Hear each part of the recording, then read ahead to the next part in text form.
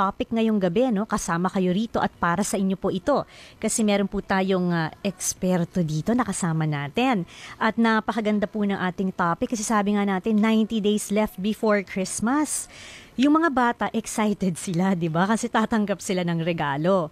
Pero tayong mga ano ba, malalaki na. Hindi naman sasabihin na lahat ay matanda na, pero meron ding mga may edad na. Eh naku na problema tayo sa ating uh, pera, kung paano natin gagamitin ng maayos. At uh, kadalasan diyan ay ginagastos na natin kaagad. So, ano nga ba ang ating gagawin lalo na ngayon na magpapasko na? So papakilala ko po ang ating uh, panauhin. I'm very blessed na meron tayong kasama ngayon sa studio. And siya po ang financial literacy expert natin. Siya rin po ay executive director ng Colaiko Foundation for Education at aalamin din natin kung ano ang ginagawa ng kanilang foundation. Ano? Walang iba po kundi si Sir Armand Bengko. Magandang gabi po, Sir Armand. Yes, magandang magandang araw. Magandang uh, Pakipress lang po yung mic. Yan. Um, yes, magandang magandang araw, magandang gabi. Ang uh, ganda naman ng boses ni Sir Armand. Hanggang alas 12 lang yan ng gabi. Ah, ganun Pag, po ba? Pagdating ng alauna, bumabalik sa Ah. So, biro lang. Pero, Parang nandito si Brother Jun ah. yeah, ganda yeah, ng boses. Yeah, so magandang ah. araw at uh, happy to be here in the Dr. Love. Nako, baka hindi na kayo pakawalan ng DZMM sa ganda ng boses niyo, Sir Arman. Hindi nga, ilang beses naman ako nag-guest sa iba't ibang programa. um, okay. Tinatawag pero, nga nila yung gwardiya para palabasin ako rito sa studio. Bakit dahil, naman po? Eh, kumakapit ako sa mikropono, ayoko nang bumitaw eh. Kasi marami kayo. sa karaoke. Ay, ay, ah, sa karaoke. Yeah. Parang magandang uh, pakantahin si Sir Arman mamaya ng live, ano? Basta instrumental ah, instru- ang papakanta niya sa akin. okay. Pero nakakatuwa naman po at nandito kayo, kasama namin kayo kahit late na sa gabi. Marami pong matututunan ng ating mga listeners and viewers po no, from all over the world kasi meron din tayong mga OFWs na yes. I'm sure iniisip din nila paano nila gagamitin yung kanilang hard-earned money no na pinapa pinapadala po rito sa Pilipinas. Yes. So, uh, Sir Armand, ano po itong Colaiko Foundation for Education? Um, ito po ay uh, sinimulan ni Mr. Francisco uh, Colaiko. Mm-hmm. Um, I think mga 17, 18 years ago, 2001, 18 years ago. Mm-hmm. Uh, una tumutulong sa mga eskwelahan dapat, sana. Mm-hmm. Uh, and then eventually, mga 15 years ago, we refocused our efforts to do financial literacy. Mm-hmm. Yung maturuan ng ordinaryong Pilipino, uh, una nga naming inisip yung mga migranting manggagawa, mga OFW, uh, sa tamang paghawak ng kanilang pananalapi. Mm-hmm. Tumagal kami hanggang ngayon dahil uh, yung kaalaman sa pera pala perpetual and universal. Universal, hindi lang pala pang OFW, mm-hmm. uh, hindi lang pala para sa mga nagtatrabaho, bata, matanda, miski na mayaman, kailangan nga rin ng tamang kaalaman Oo, sa naman. paghawak ng pananalapi.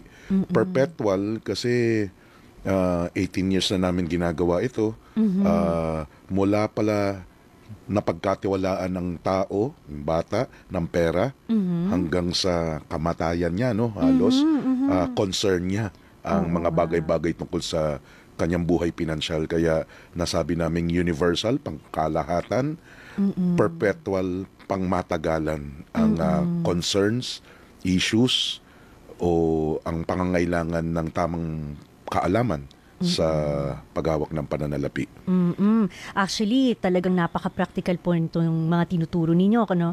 Kasi sabi nga nila, kahit nga yung mga nananalo sa loto, di ba, kung iisipin, ang laki ng premyo. Pero marami tayong naririnig na kwento na ang yaman-yaman tapos yung milyon na napapalalunan ay nawawala rin. Nung kasi minsang, mismanagement. Correct. Opo. Nung minsan uh, uh, mapalad ako na pag-guest dito kasi nga merong uh, nanalo sa sa loto, loto. na mm-hmm. and they have a may statistics sila eh, na uh, karamihan ng mga nananalo hindi naman lahat pero nakakagulat nanalo Mm-mm. malaking pera Mm-mm. umangat sa buhay nawala yung yaman Mm-mm. nalubog pa sa utang Mm-mm. balik o mas ma sama pa o mas pangit pa sa sitwasyon compared to before they won the lottery. Nako, so oo. that goes to show more money is not the solution if you have money management problems. Mm-hmm, so, mm-hmm. ah, dagdagan yung pera mo, hindi yun ang solusyon ng iyong problema sa paghawak ng iyong pananalapi. Dinagdagan lang yung hahawakan mo na problema dun sa dagdag na pera.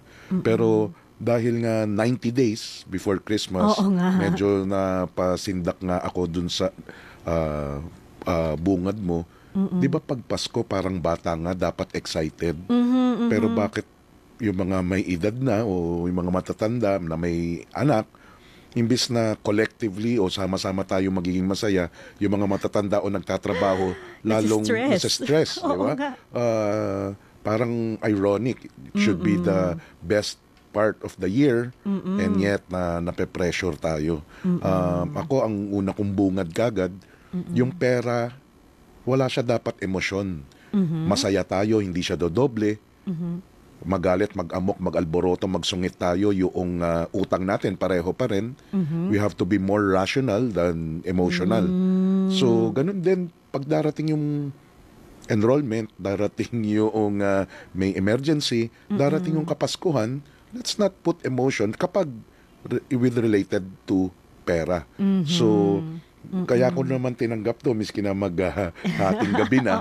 kasi 90 days before Christmas. Christmas, yes, Actually, yes. dapat kung pag-uusapan, kailan dapat paghandaan yung darating na Pasko? Mm-mm. Sa December 26, Mhm. dapat pinaghahandaan mo na yung darating na Pasko sa Oo, susunod, yung na taon. susunod. Oo, oo. Kasi kung pag, pag-uusapan natin 90 days before Christmas, katulad ngayon, worst kung 30 days before Christmas. Oo o kaya noong araw, mga 15 years ago, uh, mag kukunin kaming guest na ah, sa programa, ah, ibang stasyon naman, eh, ilang araw na lang bago magpasko, paano raw, paano raw maghahanda sa Pasko sa larangan ng kaperaan. Eh, pag minsan, pag ganun, ilang araw na Oo, lang bago mag- nagastos na. nagastos na. Oo nga Ah, mga mabilis na realidad, simpleng realidad para makita na pwedeng ah, dapat bigyan ng pansin. Kadalasan pag empleyado um, dito na lalo na dito sa Pilipinas ayon sa batas, Mhm. parang binibigyan ka ng karapatan maglustay pagdating ng Kapaskuhan kasi sa Oo batas nga. may 13th month pay. Ayun, ayon sa ayun. batas yun pag mga empleyado ka. Opo. So ah, parang dumoble kagad ang sweldo mo sa isang buwan pa lamang. Eh, Opo. buti na lang dahil ang daming ang gastusin nitong darating na Kapaskuhan. Pero take note, kung maalalahanin ng mga matatagal na nagtatrabaho, December 15, yung sumasweldo ng a- a 15 at 30, December 15, malamang ibigay na yung sweldo mo ng December 15, Okay. pati yung katapusan, pati yung 13th month. So, excuse me, ang dami mo talagang ah, pera na Opo. hawak. Ang daming paggagastusan, rega, reregaluhan, pupuntahan, Pagkain. pagkain, ah, Damit kainan. pa nga eh. Damit, ah, pag sarili, tsaka dun sa, di ba, uy, kailangan may bago tayong damit pag darating ng Oo bagong Pasko, nga, salubungin ng, opo. ah, ah, salubungin ng maganda, marami tayong suot na bago. Minsan Ah, bagong decoration pa. bagong decoration Oo. dahil ah, nangungupas na and kung ano Oo. man ang ah, dinahilan natin na parang ang bilis natin maglabas ng ah, pera Mhm. Ang nakakalimutan susweldo ka ulit January 15 Mhm, matagal-tagal. isang buwan Mhm. so kung dati nga eh bukang bibig ng karamihan ang hirap itawid yung 15 at 30 Mhm. ngayon mas mahaba ang panahon Mhm. na maraming gastusin at lalo na wala kang kaplano-plano, wala kang listahan, Ayun. kung anong unang ah, dumating, ano on impulse. At may Eh, online shopping pa, sir. At ah. may online shopping pa, lalo na ngayon. Um, napakabilis ng labas noong akala mo malaking pumasok sa iyo na pera. Mm-mm. Kaya um, nakakalungkot man sabihin, yes, sasalubungin natin yung bagong taon, ah, 2020. Imbis na sasalubungin natin ng maaliwalas, magaan, excited for the new ah, year, ah, grateful sa Panginoon dahil ah, binigyan na naman ng tsansa ng bagong taon. Iniisip mo kung may laman pa yung credit card mo. Ah, Kasi naubos na noong December 28, 29. Namili ka pa ng paputok. Diyos ko, nung bagong taon, nagsunog ka pa ng ah, pera. Kaya January 1, January 2, bumalik na sa, ang mga bata sa eskwelahan. Mm-mm. Unang linggo ng ah, ah, taon. Taon, may utang. Malaking utang. Hindi, awa, lagyan natin ng konting drama. Ah, Uuwi sige. yung anak mo, Ah, sasabihin okay. and ah, quarterly exams na. Kailangan magbayad na Oo, bago mag-quarterly exams. So, labas mo na naman ng credit card o kung kanino uutang o Mm-hmm, magpo-promissory note sa eskwelahan. Mhm. So, parang nabaliwala yung kadadaan lang, di ba, na kapaskuhan. Nakalimutan yung talagang dahilan kung bakit natin sinasabuhay, inaalala yung nakaraang season. Na-stress lang tayo lahat sa panaymura na, sa traffic, papunta doon sa mall, sa bilihan, di ba? Papunta doon sa uh, reunion, Oo doon nga. sa isang get-together. Um, Magastos pa sa gasolina kasi matraffic, 'di ba? Ang tagal sa kalye po. Exactly. Kasama Kaya pa 'yun. um, more than the pera, yung oras. Kasi Yung nga matagal sa oras, traffic. yes. Kaya yung paghahanda 90 days before Christmas, uh, ngayon pa lang ngayon pa lang ho, every thir- 30 minutes before you go to sleep, uh, right before you do the last activity, probably pray before you sleep, di ba? Uh, 30 minutes before your last activity, uh, is, ipagplanuhan nyo na. Make your Christmas list. Hindi lang si Santa Claus ang may listahan on who's naughty and nice, no? Aha. Or nice. Aha. Tayo rin, ilista natin ang mga reregaluhan, pupuntahan, ah, at yung mga iba't iba pang aktibidades na gagawin natin na may kinalaman sa pera. Kasi pag hindi natin ginawa yan, hindi natin mapapansin. Yes, medyo malaki nga ang ang dumating na pera, mas mabilis din ang ha, paglabas niyan kung bawat ah, instant Aha, impulse aha. ay kakagatin mo. Mm-mm. Lalong-lalo na yung doon sa pagre-regalo. Kaya, Ayun, kasi oo yung mga activities, reunion, get-together, pwede mong taguan yan eh, di ba?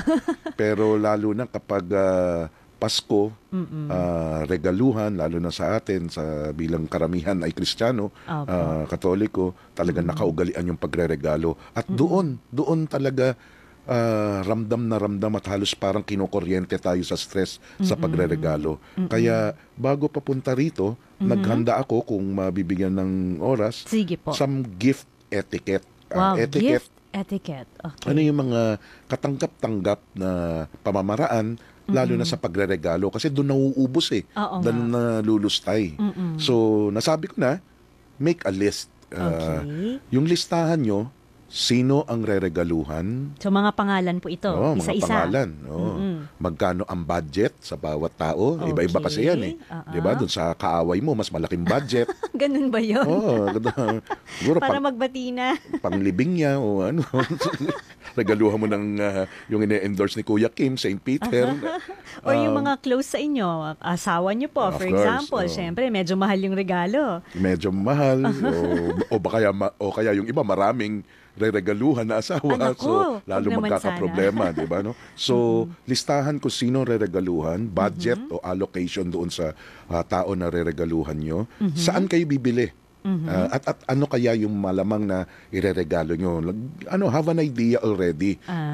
para hindi kung ano ang makita mo yun na kagad ang bibilin mo. Have an idea magkano ano ang bibilin saan bibilin at ang pinaka-importanting tanong, bakit mo reregaluhan? Ayun, oo. Yung bakit kasi, yun ang um, magbibig, malaking susi ah, kung itutuloy mo o hindi. Mm-mm. Sir, bibitinin muna natin